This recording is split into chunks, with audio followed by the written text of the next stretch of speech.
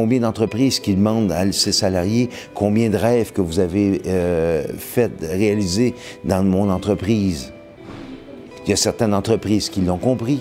C'est que si tu réalises ton rêve dans l'organisation, ben, je veux dire, tu vas être heureux. Si tu es heureux, ton, ton atelier, tes gens autour de toi vont être heureux. Je veux dire, donc, c'est d'arriver, et moi, je crois un bilan humain. Le bilan financier, c'est un peu désuet.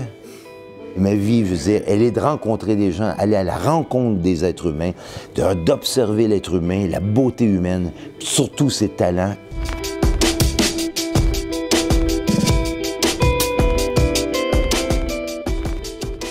j'ai décidé de défendre la puissance individuelle. Cette puissance de l'individu, elle est vraie. Puis c'est dans le bon sens du terme. C'est pas d'être individualiste, c'est tout simplement de comprendre pourquoi qu'on existe, pourquoi on est ici, pour mieux partager et collaborer avec les autres.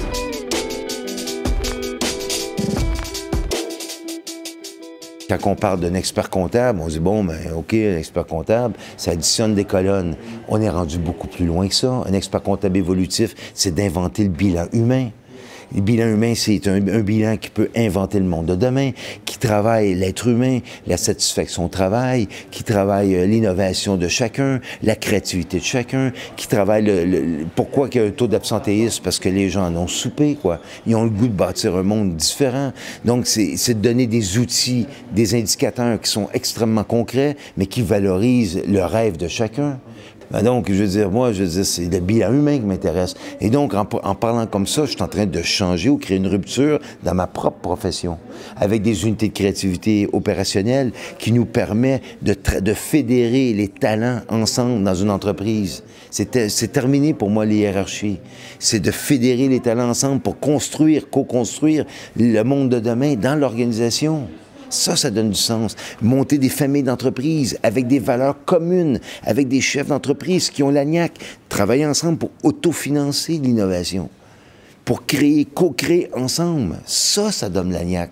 Et moi, je veux dire, je dis à tous les managers, tous les top exécutifs de ce monde, je veux dire, je dis, vous êtes des serviteurs de la vie. Si vous avez eu des privilèges dans votre vie d'être bac plus 10, tant mieux pour vous. C'est génial. Mais vous êtes au service des autres pour les aimer et les, et les faire grandir dans leur vie.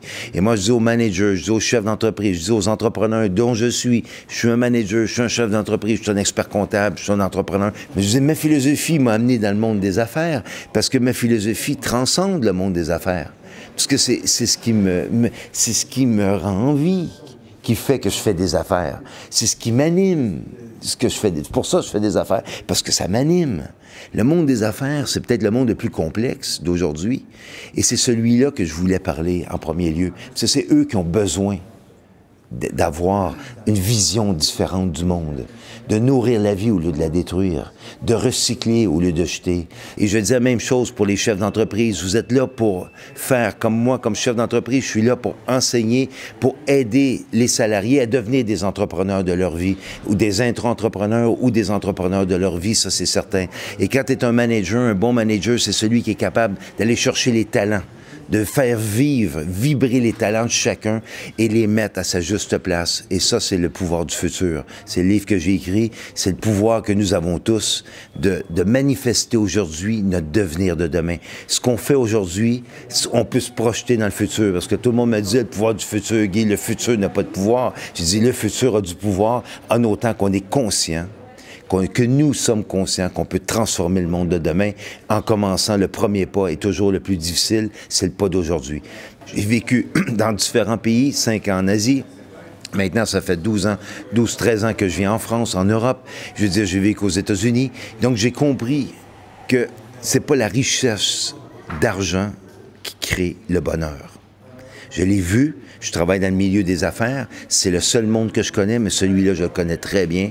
C'est la richesse la seule richesse que je vois qui donne des étoiles dans les yeux, c'est quand tu peux transmettre cet enthousiasme, cet engouement et de voir que chacun d'entre nous peut réaliser et ils peuvent créer le monde de demain.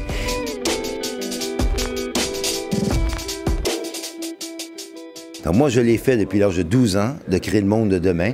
Donc j'ai pas attendu après les banques ou le gouvernement ou qui que ce soit pour inventer ma vie. Donc je l'ai fait en travaillant comme inventeur, en exportant des inventions à travers le monde, euh, aussi en étant expert comptable, en ayant inventé ma propre profession, en devenant le premier expert comptable évolutif sur la planète, avec marque de commerce euh, déposée. Par la suite, ce que j'ai créé, c'est une plateforme d'innovation pour favoriser l'émergence de bonnes idées. Et en travaillant en famille, parce que j'avais un cabinet d'expertise comptable, donc j'avais des clients professionnels qui travaillaient avec moi, des industriels, des PME.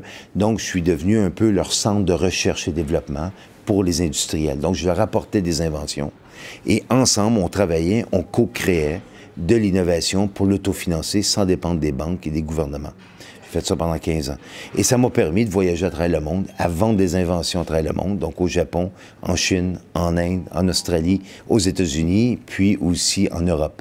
Et de là, je me suis dit, il y a des gens, j'ai commencé à changer ma vie à 33 ans, et il y a des gens qui ont dit, Guy, c'est tellement riche d'expérience, tu devrais être prof. Donc, je commençais à être prof d'université, en management, en innovation, en export-import.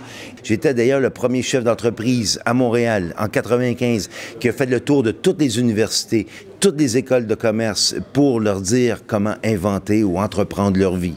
Parce que j'y crois, les jeunes étaient là, ils sortaient des cours ou des, amphithéâtres, ils voulaient arracher le monde, arracher, arracher les portes. Je veux dire, ils étaient debout sur leur chaise. J'ai tombé en amour avec mes étudiants, ils me disent, Monsieur vous devriez écrire un livre.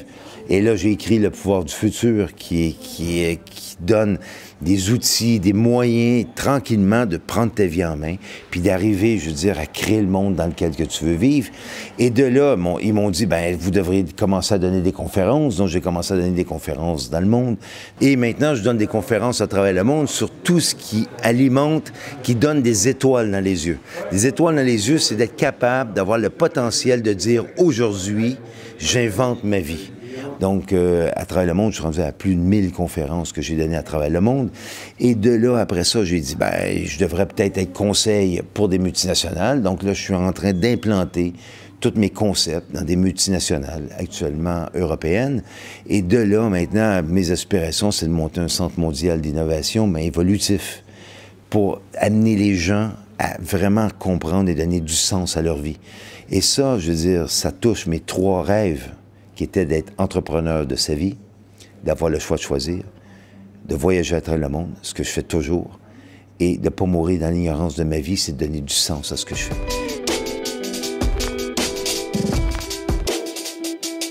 Ce qui me rend le plus heureux, c'est de voir les gens en face de moi qui ont les étoiles dans les yeux. Les gens qui ont confiance en eux. Les gens qui ont le goût de bâtir le monde de demain. À la fin de ma vie, quand ça va être la dernière journée de ma vie, je vais pouvoir dire à tout le monde quelle vie extraordinaire que j'ai vécue, puis je vais avoir la banane. Quand on sait que 95 des êtres humains sur Terre meurent dans la tristesse de leur vie, moi, je vais être dans les 5 à la fin de ma vie que je vais dire quelle vie extraordinaire que j'ai faite. C'est une évolution. Parce que moi, je dis, on a deux choix dans la vie, dans mon livre, le dernier chapitre. C'est soit qu'on continue les révolutions, ou qu'on passe à l'évolution. Et l'évolution, pour moi, elle est claire, c'est au niveau de la croissance, euh, une, croissance d'éthique, une croissance de gouvernance, mais plus précisément, une croissance de, de ce qu'on est. Je veux dire, une conscience. Donc, c'est le pouvoir de la conscience. C'est d'être de plus en plus conscient que chaque individu a un talent et comment on crée cette synergie collective pour bâtir le monde de demain. Et ça, on peut le faire. Donc, si chaque individu bâtit son monde dans lequel il veut vivre, après ça, on va pouvoir penser globalement à bâtir le monde de demain. C'est là, parce que tout le monde dit on va changer le monde. Non, change toi toi-même. Quand j'ai rencontre en privé, je dis ouais, j'ai de la misère, je rame. Bon, j'ai dit bon, tu vois, change-toi. Après ça, tu changeras le monde. C'est qu'il faut pas faire, parce que ça paraît bien en public de dire on va changer le monde. Je dis, c'est pas de changer le monde qui est, c'est justement, on passe à l'acte. Et l'acte, c'est sur soi. C'est pas sur les autres. Tu ne peux pas passer à l'acte pour les autres. Tu passes à l'acte pour toi. Pour te donner du sens à ce que tu fais. Pour que ta vie ait un sens. Et à ce moment-là, tu vas avoir la banane, tu vas avoir les étoiles dans les yeux et tu vas réussir l'impossible, quoi. Et c'est là que l'impossible devient possible. Parce que réussir l'impossible, il faut que tu donnes du sens à ta vie. Tu dois te donner du sens à ta vie, sinon tu ne pourras jamais l'atteindre. En 10 ans, on est en train de détruire nos ressources naturelles, on est en train de détruire tout ce qui se passe sur la planète, on est en train de détruire la beauté humaine, de travailler ensemble, le collaboratif, de travailler en synergie, de la beauté, de faire grandir les talents des humains. C'est ça l'avenir. Quand j'arrive en France, les gens la tronche, je prends le métro, tout le monde la tronche. Moi, j'arrive, je dis Waouh, la plus belle ville au monde! que 2 millions de personnes qui prennent le train, le RER O, whatever, qui ont la triple tronche. Je dis 2 millions de personnes qui vont travailler avec la tronche. Quand moi, je me dis, je me dis, moi, je vais travailler à travers le monde avec la triple pêche. Et c'est ça que j'ai de la difficulté parce que je m'aperçois qu'on est en train de créer un, omerta autour des vraies valeurs humaines. Quand on parle depuis 2000 ans, est-ce qu'on a voulu que l'être humain soit autonome, vraiment? Est-ce qu'on veut que l'être humain soit libre et autonome? Que la société dans laquelle on vit ne nous donne pas la chance de nous exprimer, même en Amérique puis pire en Chine aujourd'hui. Donc, je veux dire, voyez-vous, c'est que quand la société ne nous donne pas le choix de nous exprimer, quand tu n'as pas un prof devant toi qui dit « je crois en toi » parce que tu as 10 ans, je crois à ton génie, je crois à ton potentiel, quel que soit. Malheureusement, on est peu nombreux sur la planète Terre qui, qui a compris ce message-là. Malheureusement il y en a de plus en plus. Il y a des gens qui sont conscients. J'ai des gens que je pourrais nommer qui, commencent, qui n'ont pas jeté encore la serviette. Parce que beaucoup de gens que je vois qui, sont conscients, qui jettent la serviette, qui se disent, bon, fini. Moi, je veux dire, je vais me concentrer sur ma famille, tout ça. Moi, je me dis qu'aujourd'hui, la famille, c'est la base de tout. Oui. Mais je pense qu'on a un... Moi, je leur dis à ces gens-là, pour pas les nommer, parce que vous les connaissez, c'est des gens qui sont très bien connus dans la, dans la société. Je dis, jetez jamais la serviette. Vous avez jusqu'à la fin de votre vie. Vous n'êtes pas encore mort. Vous n'êtes pas morcifère. Les gens vous respectent dans votre discipline, quelle que soit votre discipline, mais encouragez. Il y a même des gens qui me disent la vérité n'est pas toujours bonne à dire. Puis il dit, vous savez, rendu à un certain âge, puis même rendu à 12 ans, 18 ans, 20 ans, 30 ans, 40, j'ai toujours dit ma vérité. Mais c'était pas la vérité, c'était ma vérité. C'est tout. C'est qu'il n'y a pas d'âge pour dire sa vérité, la vérité à laquelle que je crois. Donc le je qui parle. Je ne peux pas parler du nous, parce que chacun a sa vérité. Mais je veux dire, c'est ça que les jeunes, les jeunes veulent entendre. Et je l'ai testé, hein, j'ai fait des conférences devant des milliers de jeunes euh, en, Belgique, euh, au Québec. Et les jeunes, quand ils sortaient des conférences, ils disaient, Monsieur Cloutier, c'est ça qu'on veut. C'est ça que les jeunes veulent aujourd'hui, quel que soit ton milieu. Je veux dire, ils veulent entendre des gens qui parlent avec leur cœur, avec leur âme, avec leur trip, puis qui ont le goût de bâtir le monde et qui, bâtissent le monde à tous les jours, le monde dans lequel on veut vivre.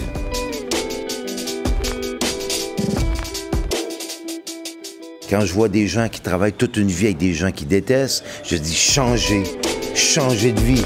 Je dis, quand j'arrive en France, puis je dis, travaillons avec des gens qu'on aime. Je dis, Monsieur Cloutier, vous êtes dans un.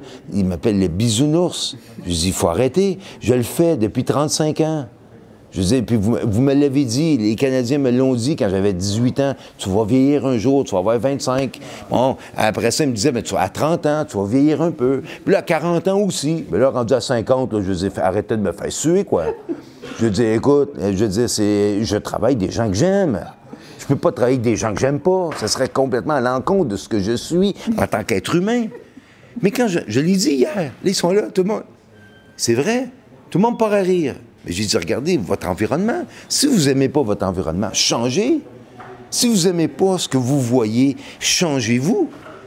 Soyez l'exemplarité de votre vie. Soyez humble pour avouer que vous êtes l'exemplarité de votre vie. Et à ce moment-là, les gens autour de vous vont changer. Vos amis vont changer. Naturellement, quand tu changes à l'intérieur, tu changes, tu interagis avec d'autres personnes. Si vous n'aimez pas les gens avec qui vous travaillez, mais changez. C'est à vous à changer, c'est pas à eux à changer. Mais les gens qui se disent Ah oui, mais mon emploi, il faut que j'attende ma pension. Ah oui, il faut que j'aille une paye pour payer mes comptes. Je dis Pourquoi vous. Est-ce que notre vie est limitée? Et ça, là, je parle plutôt aux Américains et aux Canadiens, est-ce que ma vie est limitée à faire de l'argent pour payer des comptes? Est-ce que c'est ça, la vie d'aujourd'hui, que que je fasse du pognon pour payer des comptes? Changer le monde parce que le temps est précieux et on, le temps passe extrêmement vite. Donc, il faut avoir cette caractéristique, ce caractère en dans nous que personne ne peut changer à notre place. C'est qu'on peut pas changer personne dans le monde. Mais il y a une chose qui est certaine, c'est qu'on peut changer soi-même et se donner la chance. Et quand je travaille avec des jeunes aujourd'hui et je vois qu'ils ont des, ils ont des idées géniales, que je travaille avec des gens, des SDF, je travaille avec des handicapés, je travaille avec des jeunes qui ont le courage, des, des milieux défavorisés, je leur dis, vous êtes vous êtes les génies du futur. C'est vous qui allez bâtir le monde de demain. J'y crois fondamentalement parce que toute ma vie a été comme ça. Finalement, quand on met du cœur dans ce qu'on fait, quand on croit à ce qu'on fait, quand on a la volonté puis la persévérance, quand on dit au Québec que les bottines suivent les babines, parce qu'on dit ça au Québec aussi, c'est que ce que tu dis, tu le fais, puis ce que tu fais, tu le dis. Fait que quand tu es capable d'avoir le courage, avec cette croyance qui est en toi, ce potentiel qui est en toi d'inventer le monde de demain et que tu le fais tous les jours, à ce moment-là, les gens commencent à croire, à dire, moi aussi, je suis capable. La puissance des innovations citoyennes, j'y crois, parce qu'on est tous des citoyens du monde et chaque contribution de chacun, elle est importante. Donc, quelle que soit la contribution de qui que ce soit sur Terre, des plus pauvres aux plus riches, je dis, elle est importante. Et on est là, nous, pour faire élever cette conscience, ce niveau de conscience-là. Et dès que le niveau de conscience va être atteint, là, d'après moi, il va y avoir un basculement. Parce qu'on le voit, le système financier est très fragile. On voit la bourse, on ne sait jamais quand ça peut tomber. Je, vois que tous les, tous les systèmes qui ont été créés par l'homme pour la destruction de l'homme est en train de s'effondrer. Pourquoi? Parce qu'on a de plus en plus de réseaux sociaux, de plus en plus de gens qui sont conscients, et de plus en plus de gens qui se posent des questions.